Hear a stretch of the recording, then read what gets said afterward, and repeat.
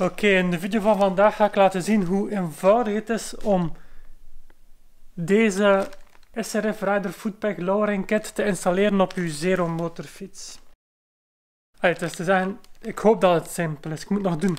Maar het ziet er in elk geval, het enige dat van aansluitmateriaal zijn van die circlips, van die uh, C-clips. Dat je zo, ik heb daar een speciaal tangetje voor dat je kunt open doen, erop schuiven en dan zit dat vast. Dus volgens mij is dat het enige dat nodig is. Nummerke, als je dat wil kopen, het is dus 1008272.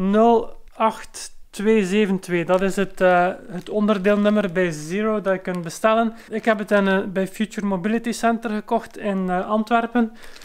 Dat is niet de firma die, die Latank dat zijn niet die, dat is een andere winkel. En uh, ze zijn zo vriendelijk, want ik had eigenlijk uh, gewoon het linkse en het rechtse uh, voetsteuntje apart besteld. En ze zijn zo vriendelijk geweest van mijn order aan te passen naar dit, wat dus een, een kit is met dus, zoals je ziet, hier dat groot stuk ook nog een, een rempedaal. Ze hebben het zelf vervangen en ze hebben zelf spontaan het prijsverschil teruggestort. Dan, ja, dat is eigenlijk beschikbaar gekomen. Ja. Eigenlijk als de SRS uitkwam, dus de SRS is de is gebaseerd op de SRF qua motorfiets, maar heeft een uh, volledige kuip vooraan, een andere koplamp en zo. En die is meer op comfort gericht. En op de SRS hier, die, die buiging hier, die bocht hier, bij het stuur van de SRS is die bocht hoger, waardoor dan de, je handvaten hoger komen te zitten, dat je meer rechtop zit.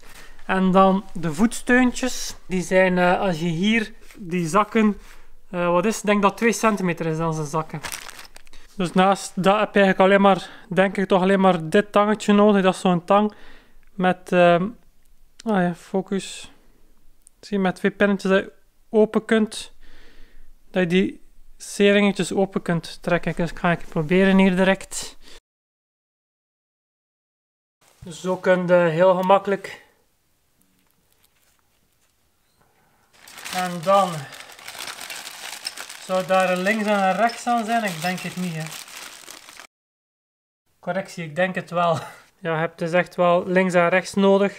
Ik weet nu niet in hoeverre dat dat daar echt uit springt. Daar zit een, een veer in. Ja, die gewoon, je kunt die gewoon tegenhouden. Ze.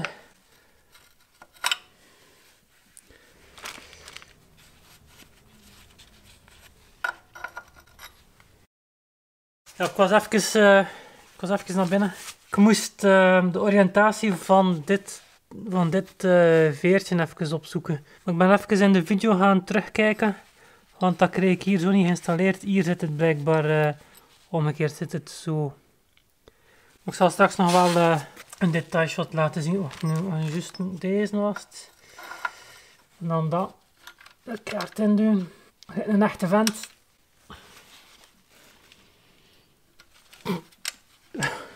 Ga het er moeten van tussen knippen. Hè. Ja, dan moeten we nog serieus wat kracht op zetten. Ik denk dat het erdoor zit, ja. Dus aan deze kant zit het bolletje langs hier. Aan de andere kant zit het anders. En dat is dus hoeveel lager dat is. Hè. Hier heb ik verder niks te doen. Ik was hier aan het kijken hoe roestig dat dit is. Dat misschien niet kunnen zien, maar heel die pekkel is verroest. Oh nee, het is niet klaar. Ik moet nog uh, hier dat clipje er terug over doen. Hè. Ja, en aan de binnenkant is dan uh, hetzelfde principe. Hè. Gewoon, kijk, hier zie ik wel dat het pinnetje dus het afgeronde deel zit langs binnen hier. En dan dien, daar moet ik juist het moment weten voor dienen bout. En dan zit daar ook een clipje. Maar ik ben aan het denken, ik ga die niet vervangen volgens mij. Ik ga eerst proberen rijden zonder die te vervangen. Want eigenlijk, ja, als je leert rijden, dan leer je dat je voet tijdens het rijden hier zet. Dus met je, met je tippen hier op de pedaal. En dat pas is op, op, op de voetsteun beter. En het is pas op het moment dat je echt gaat remmen, dat je je voet verzet en je uh, remmen duwt. Dus dat zal eigenlijk nooit in de weg mogen zitten tijdens het rijden, omdat je voet... dat is wat ik op mijn uh, rijexamen geleerd heb, toch destijds. Of rijopleiding beter. Maar ja, het is hetzelfde principe. Hier uh, dat pinnetje weghalen. Ding eruit. En die in de plaats. Ik ga dan binnenkort een keer een testrit doen. Ik zal u laten weten hoe dat is.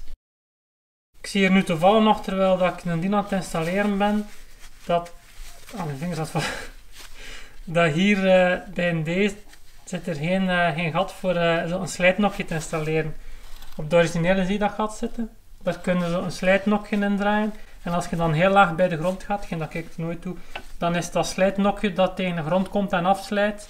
En zijn het je voetsteuntjes zelf niet die slijten. Hier aan de die zit dat natuurlijk niet, omdat die veel hoger zitten, maar blijkbaar bij die vervangende zit dat blijkbaar ook niet.